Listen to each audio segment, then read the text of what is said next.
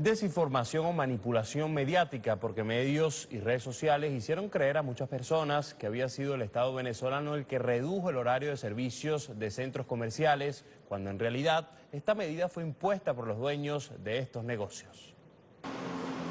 Realizamos un recorrido por los principales centros comerciales del este de Caracas. A tempranas horas de la mañana el centro Lido trabajaba en total normalidad.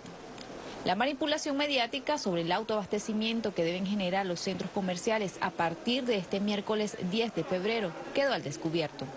Lo que lo has leído, ¿quién establece la reducción de horario? Mm, eh, reducción de horario, bueno, me imagino que es el mismo gobierno, bueno, los ministerios. ¿De casualidad leyó quién es el que establece esta, este recorte de horario?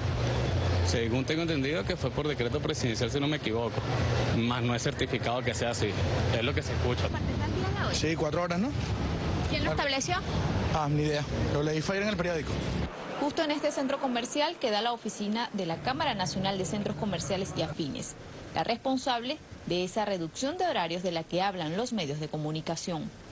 La propuesta que ustedes establecen acá es la reducción de horarios. Claro, hay reducción de horario, nos el punto 1, 2, 3. Nosotros lo que decimos es reducir nuestro horario de 12 a 7. O sea, antes funcionan normalmente, perdón, de, de 11 o de 10 a, o 9, porque centros comerciales que de las 9 ya están abiertos, de 9 a 7, 8, 9 o 10 que entendemos con la situación que está y mientras dure la problemática, Cabeseco propone no abramos a, a las 9, no abramos a las 10, empecemos a ahorrar ya desde ahí, no carguemos el sistema desde ahí, empecemos a las 12 y cerremos a las 7.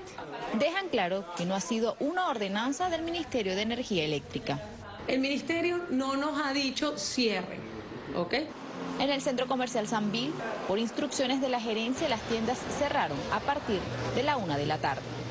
Que no tengo generación para el 100% del centro comercial. Entonces nosotros lo que le estamos diciendo a todos nuestros inquilinos es que a las 2.45 ellos por iniciativa bajen su uso, apaguen su carga y yo le voy a dar generación a los locales de comida, feria, de restaurantes y el para el gerente del Sanvil, la posible solución para un consumo consciente sería cancelar tarifas elevadas por el servicio.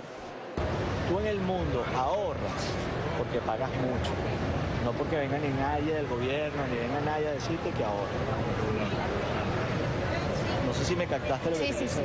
O sea, el consumo de luz en tu casa, por ponerte un ejemplo, en cualquier país del mundo, tú estás pendiente de apagar las luces, de ahorrar y de usarla como dicen ellos eficientemente porque si no lo haces, vas a pagar mucho. claro. Entonces no es necesario que yo te esté amenazando a ti, mira, apaga la luz, córtala, porque si no, no, para nada. Es porque, pues, claro. sí, aquí es bastante económico el tema de la luz. Y la gente... Bastante económico, no, es regalado. Pero para ustedes también es, es económica la electricidad o solo... Claro, que la electricidad es la tarifa económica para todo el mundo. Y aunque así titulaba el diario 2001, los cines prestaron servicio y funciones en los horarios en los que se establece que los centros comerciales deben generar su propia electricidad. Continuamos el recorrido hasta el centro comercial Milenio. Aunque había luz, la orden fue cerrar. Por la luz cerraron la... bajaron Santa María por eso. Entonces quedaron en que a las 3 nuevamente volvíamos a ingresar al, trabajo. ¿Pero esta decisión la toman los dueños o el centro comercial? Es parte del centro comercial, órdenes del centro comercial, no sabemos exactamente qué es lo que está pasando.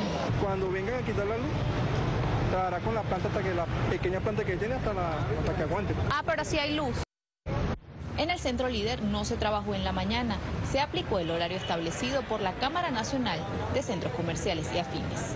Fíjate tú lo que está pasando, el centro comercial no tendría por qué estar cerrado, porque si tú te informas a tiempo y tienes todo funcionando como debe ser, me va a decir que él no tiene cómo comprar una planta eléctrica, por favor. ¿Ustedes trabajaron en la mañana?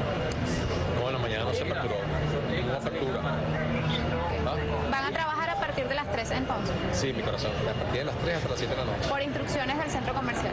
Por instrucciones de, no solamente del centro comercial, sino a raíz del, del este, ¿cómo se llama? El ahorro en líneas generales, cada centro comercial trabajó como quiso. Ninguno generó electricidad propia para autoabastecerse e impusieron horarios de servicio a inquilinos y usuarios. Jazmín Casanova, La Noticia.